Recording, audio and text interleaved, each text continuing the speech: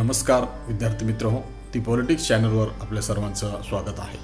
विद्यार्थी मित्र हो आज आपण भारतीय शासन आणि राजकारण हा जो सातवा पेपर आहे त्या पेपरमधलं पहिलं प्रकरण जे आहे केंद्र राज्य संबंध यावरचे काही प्रश्नांचा सराव घेणार आहोत.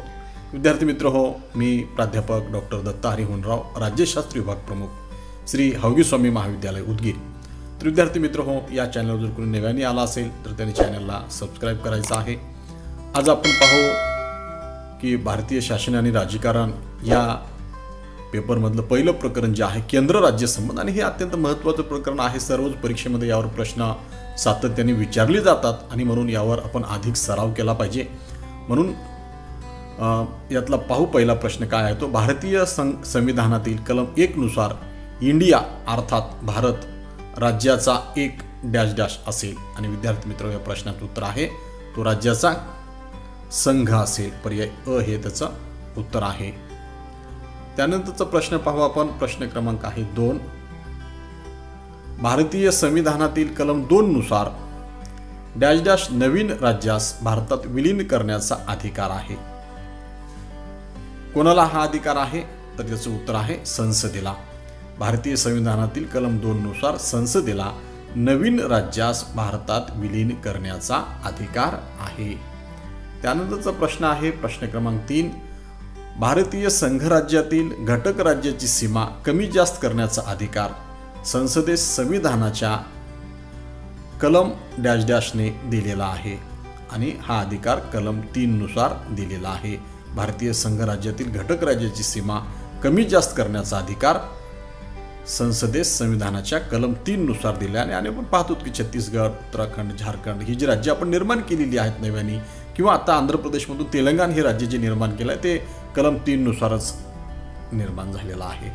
त्यानंतरचा प्रश्न आहे प्रश्न क्रमांक चार. राज्याच्या सीमेत बदल करण्याचे विधेयक संसदेत मांडण्यासाठी डॅश डॅशची शिफारस आवश्यक आहे. तर विद्यार्थी मित्राचं उत्तर आहे राष्ट्रपतीची शिफारस आवश्यक आहे. राज्याच्या सीमेत बदल करण्याचे विधेयक संसदेत मांडण्यासाठी राष्ट्रपतीची शिफारस आवश्यक आहे. त्यानंतरचा प्रश्न आहे प्रश्न क्रमांक पाच. एकोणीसशे शहात्तरमध्ये बेचाळीसव्या घटना दृष्टीने राज्यसूचीतील शिक्षण वन वजन वजने मापे वन्यजीव रक्षण हे चार विषय डॅश डॅश सूचीत समाविष्ट करण्यात आले. हे समवर्ती सूचीमध्ये समाविष्ट करण्यात आलेली आहेत. आणि म्हणून आपण पाहिलेलं आहे की संख्या बदललेली आहे. समवर्ती सूचीची विषय पूर्वी सत्तेचाळीस होती. ती राज्य सूचीमधले ॲड केल्यामुळं आता ती बावन्न झालेली आहेत. पाच हे इकडं ॲड केलेली आहेत आणि म्हणून ती आता बावन्न संख्या झालेली आहे. त्यानंतरचा प्रश्न आहे प्र- प्रश्न क्रमांक आहे सहा. जनसंख्या नियंत्रण व परिवार नियोजन हा नवीन विषय डॅश डॅश सूचित एकोणीसशे शहात्तरमध्ये समाविष्ट करण्यात आला. आणि विद्यार्थी मित्र या प्रश्नाचं उत्तर आहे समवर्ती सूचीमध्ये हा नवीन विषय समाविष्ट करण्यात आलेला आहे. त्यानंतरचा प्रश्न पाहू आपण. प्रश्न क्रमांक आहे सात. भारतीय राज्यघटनेनुसार केंद्र सूचित डॅश डॅश विषय आहेत आणि विद्यार्थी त्याचं उत्तर आहे शंभर विषय आहेत. भारतीय राज्यघटनेनुसार केंद्र सूचीमध्ये आता किती विषय आहेत? शंभर विषय आहेत. त्यानंतरचा प्रश्न आहे प्रश्न क्रमांक आठ. भारतीय राज्यघटनेनुसार राज्यसूचित विषय आहेत. राज्यसूचीमध्ये एकसष्ट विषय आहेत. भारतीय राज्यघटनेनुसार राज्यसूचीमध्ये एकसष्ट विषय आहेत. पूर्वी सहासष्ट होते आता ते एकसष्ट आहेत. त्यानंतरचा प्रश्न आहे प्रश्न क्रमांक नऊ. भारतीय राज्यघटनेनुसार समवर्ती सूचीत डॅश डॅश विषय आहेत. समवर्ती सूचीमध्ये बावन्न विषय आहेत. प्रश्न क्रमांक आहे दहा. भारतीय राज्यघटनेनुसार उर्वरित अधिकार डॅश डॅशला दिलेले आहेत आणि उर्वरित अधिकार केंद्राला दिलेली आहेत. त्यानंतरचा प्रश्न आहे प्रश्न क्रमांक अकरा. भारतात केंद्र व घटक राज्यासाठी डॅश डॅश संविधान आहेत. एकच संविधान आहे. अपवाद काश्मीर होतं पण तेही तीनशे सत्तर. मागच्या पाच ऑगस्टला रद्द करण्यात आलेलं आहे आणि आता एकच संविधान आहे. प्रश्न क्रमांक आहे बारा. भारतात संघराज्य आहे. व केंद्र व राज्याचे डॅश डॅश नागरिकत्व आहे. केंद्र व राज्याचे एकल नागरिकत्व आहे. एकच नागरिकत्व आहे.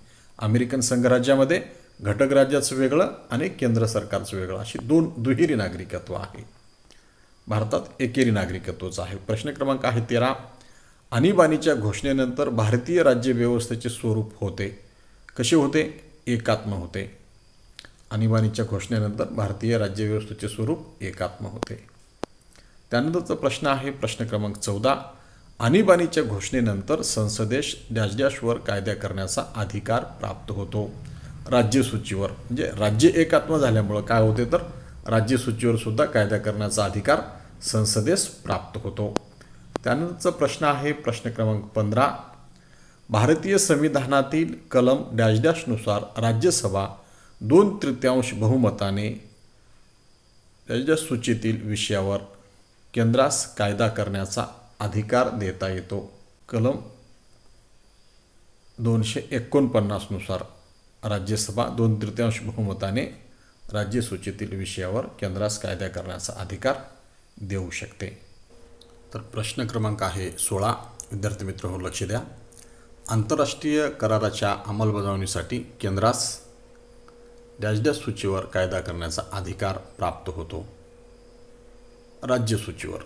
चं उत्तर आहे पर्याय ब राज्यसूचीवर कायदा करण्याचा अधिकार प्राप्त होतो आंतरराष्ट्रीय कराराच्या अंमलबजावणीसाठी.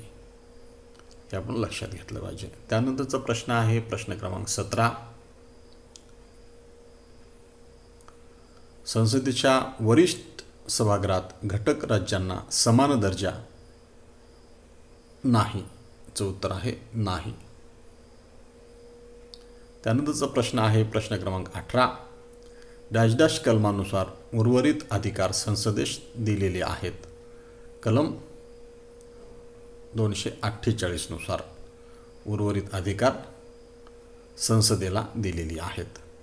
त्यानंतरचा प्रश्न पाहू आपण. प्रश्न क्रमांक आहे एकोणवीस. कलम डॅश डॅशनुसार केंद्रीय सरकार घटक राज्यास आदेश देऊ शकते. कलम दोनशे सत्तावन्ननुसार घटक राज्यास आदेश देऊ शकते. त्यानंतरचा प्रश्न आहे प्रश्न क्रमांक वीस. कल प्रश्न क्रमांक आहे वीस. कलम तीनशे छप्पनची घोषणा झाल्यास डॅशडॅशला त्या राज्याचा डॅशडॅश कायदा करण्याचा अधिकार प्राप्त होतो. या प्रश्नाचं उत्तर आहे. तीनशे छप्पनची घोषणा झाल्यास केंद्रास त्या राज्याच्या राज्यसूचीवर कायदा करण्याचा अधिकार प्राप्त होतो आणि होण्याचं उत्तर आहे पर्याय क. त्यानंतरचा प्रश्न आहे प्रश्न क्रमांक एकवीस. राज्यसभा कलम तीनशे बारानुसार डॅश डॅश निर्णय करू शकते. नवीन अखिल भारतीय सेवा नवीन अखिल भारतीय सेवा निर्माण करू शकते. त्यानंतरचा प्रश्न आहे प्रश्न क्रमांक बावीस. कलम दोनशे बासष्टनुसार संसदेने आंतरराष्ट्रीय नदीच्या बाबतीत व्यवस्था केलेली असेल तर अशा गोष्टी नेता येणार नाहीत कशात न्यायालयाकडे. त्यानंतरचा प्रश्न आहे प्रश्न क्रमांक तेवीस. केंद्र राज्य संबंधाच्या व्यापक अभ्यासासाठी एकोणीसशे त्र्याऐंशीमध्ये डॅश डॅश आयोगाची स्थापना करण्यात आली. सरकारी आयोगाची स्थापना करण्यात आली. त्यानंतरचा प्रश्न आहे प्रश्न क्रमांक चोवीस. सरकारी आयोग डॅश डॅशच्या संदर्भात होता. केंद्र राज्य संबंधाच्या संबंधात होता. त्यानंतरचा प्रश्न आहे प्रश्न क्रमांक पंचवीस सरकारी आयोगाच्या शिफारशीनुसार कलम एकशे पंचावन्नमध्ये बदल करून राज्यपालाच्या नियुक्तीच्या बाबतीत राजद्या सल्लामतल सल्लामसलत अनिवार्य करण्यात या आली. संबंधित राज्याच्या मुख्यमंत्र्याची सल्लामसलत अनिवार्य करण्यात आली. असा तो प्रश्न आहे. धन्यवाद विद्यार्थी मित्र हो आज आपण पंचवीस प्रश्न पाहिलेली आहेत. या चॅनलवर कोणी नव्याने आला असेल तर त्यांनी चॅनलला सबस्क्राईब करून घ्यायचं आहे. धन्यवाद. जय हिंद. जय महाराष्ट्र.